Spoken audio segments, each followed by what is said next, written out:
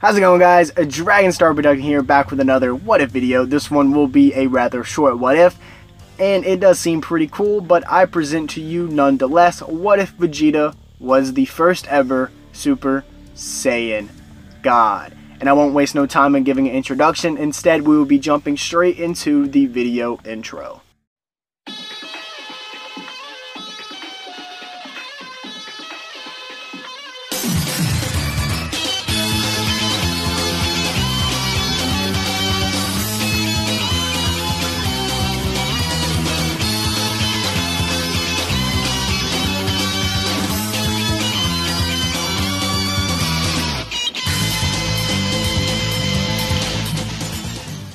Alright guys, so although this what if seems rather badass, I don't believe it would actually change much of anything in the story besides Battle of Gods and a slight change to Resurrection F.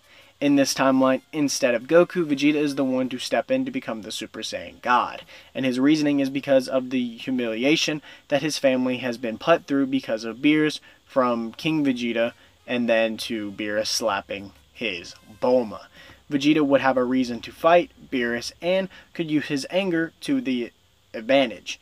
And Piccolo, if I'm not wrong, in either the anime or the Battle of Gods movie, he even states that Vegeta surpassed Goku when Beerus slapped Bulma. And knowing that Goku had Super Saiyan 3, this says a lot about Vegeta's power, and that he was the strongest one there, especially if somehow this anger rubbed off on Vegeta. So Vegeta becomes the Super Saiyan God after convincing Goku thanks to the ritual and all that happens. And Vegeta and Beerus would clash for a while. Vegeta, I believe, here would be doing better than Goku because of his rage. Beerus would be forced to use a bit more of his power, and yes, I do mean a tiny bit more. Vegeta shoots off a final flash, but Beerus dodges the blast by simply smacking it away, as Vegeta, though, is falling due to exerting way too much energy. But as he fights, it's almost like Vegeta doesn't notice that he has fell from Super Saiyan God back to regular old Super Saiyan. However, Beerus would then throw his destruction ball, getting tired of the fight, towards planet Earth and Vegeta.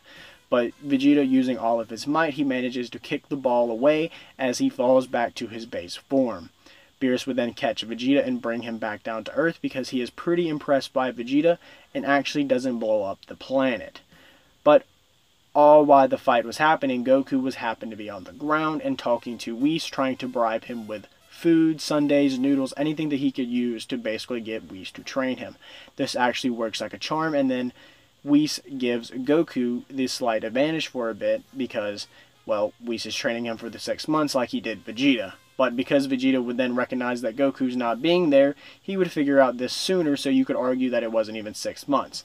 That being said, we would have a stronger Vegeta and Goku to fight in Resurrection F, but all I could say that would change is it's possible that Vegeta and Goku would not have to worry about Frieza. They would be able to defeat him much faster and not have to wait for his stamina to drain because they would already be as strong, or at least stronger than Frieza, to where that wouldn't be an issue. But that being said, the video really doesn't doesn't change much. Vegeta becoming the Super Saiyan God first, honestly just going to be super all over again. Maybe Vegeta will get some more highlights, but overall, there's still going to be no effect in Dragon Ball Super with this happening. That being said, guys, I hope you enjoyed this quick what if. I'll catch you guys in the next one, so make sure that you follow us on Twitter to find out what that could be and join the Discord so you could also find out what the next what if could be. That being said, this has been Dragon Star Productions, and I'll catch you guys in the next video. I am Lord Frieza, Emperor of the Universe, and I advise you to like this video and subscribe to Dragon Star Productions, or you'll force me to use 100% of my power. Oh, ho, ho, ho. But that won't be necessary because you've already hit the bell for all alerts and notifications. Ho, ho, ho, ho.